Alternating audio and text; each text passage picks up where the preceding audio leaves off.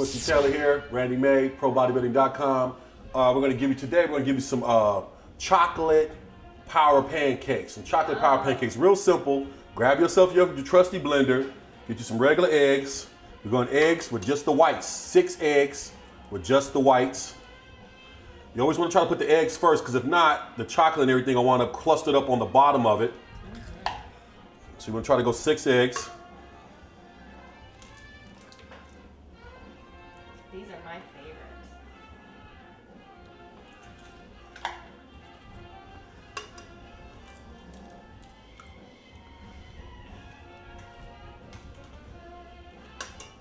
Before I found this recipe, my oatmeal pancakes were kind of crummy tasting.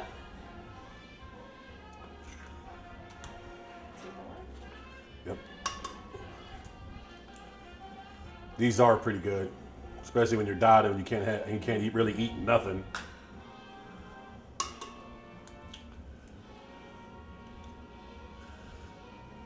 And it's really simple to make too. It really You got the eggs. in a, Uh, protein shake is the one I use.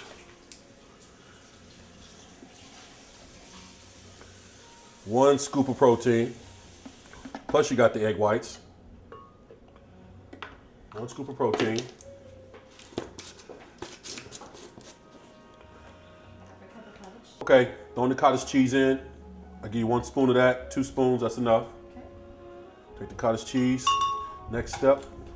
Mmm, I like cottage cheese. Half a cup of uncooked oatmeal.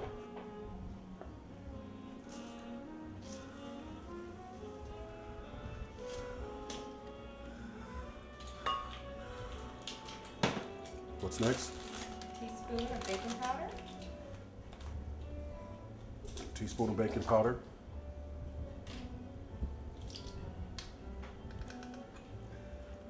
Got that? Okay. Tablespoon of canola oil.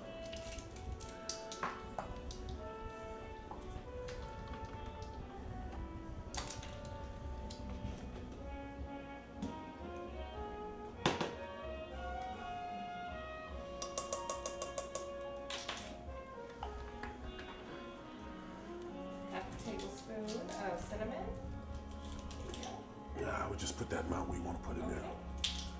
I like the cinnamon, so I'm gonna go a little bit too much. I don't think there's a such thing as too much flaxseed. I mean, you get past a certain age, flaxseed is the thing that um, softens your arteries up, makes everything work a whole lot better. It's good for your heart, lowers cholesterol.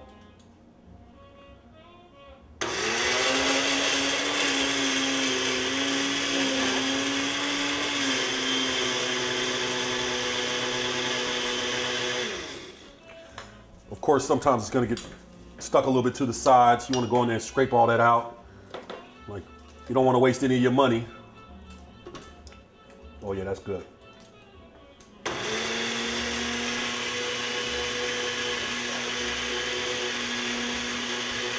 You wanna get this thing going until it's like really nice like this.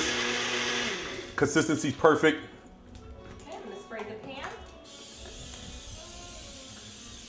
Don't want to put too much, too little. Put it right in the center. Put one. Right in the center there. Get your nice little pancake going. This stuff tastes good. I'm sorry if I'm licking everything, but it tastes really good. It tastes good to me, and I can't help it. Yeah, it's cooking.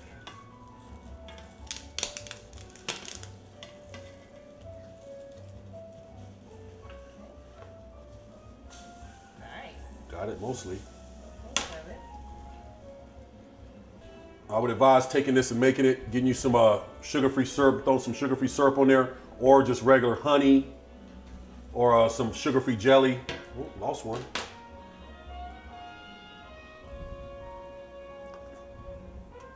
That's good. We'll stop that. And the um, oh, that's good. It's very good. Again, you could cut up strawberries, bananas, any kind of berries you want. Yes. As a topping as well. Jelly. some sometimes you strawberries on that. Sugar-free jelly as a topping if you're really dieting. Okay, once again, you throw anything you want in there, but I say I recommend sugar-free, sugar-free um, syrup. And always throw a little bit of fruit on there because you know you want to throw a little bit of something on there to make it taste a little bit better. Always nice to throw something red on it, make it add a little color to it. Especially with the chocolate, the strawberries and the chocolate. Yep, strawberries and chocolate always go good together, don't it, baby? That was a racial joke, but some of you guys got it, some of y'all didn't. Um, this Quincy Taylor, Brandy May, Pro is a state of mind. Goodbye.